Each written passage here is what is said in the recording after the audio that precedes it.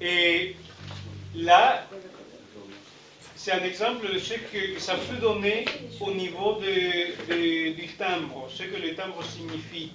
Par exemple, là, on est en train de le jouer avec, euh, avec le quattro, et le même modèle rythmique joué avec le quattro, ça donne une orchidée. C'est un rythme qui est très répandu, qui était très répandu au Venezuela, qui est, au moment de l'accompagner avec le quattro, aussi avec la harpe, sans la guitare, et sans le repère de percussion, ça donne l'orchidée.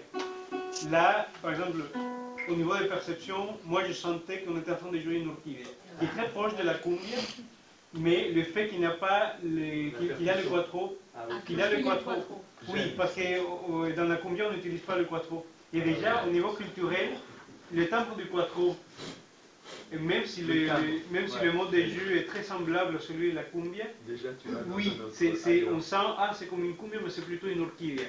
D'accord. Alors c'est comme le sujet. c'est euh, c'est du Venezuela. Venezuela oui, c'est vénézuélien. Mais elle, elle, dit que ça, c'est vénézuélien. Pas... Enfin, tu dis que c'est une cumbia ou non? Il te parle de l'instrument.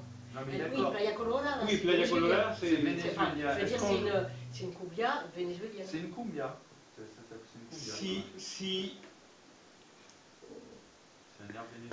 si c'est un air vénézuélien, c'est pas. Oui, peut-être la personne l'a composé en pensant à une cumbia. Et Moliendo Café Moliendo Café, c'est une orchidée. Voilà. Ah, et donc c'est pareil. Voilà, alors ça, par exemple, comme on, on, est en train de les jouer, ça me fait penser à l'orchidée. Ah ben, c'est ça. Alors c'est orchidée.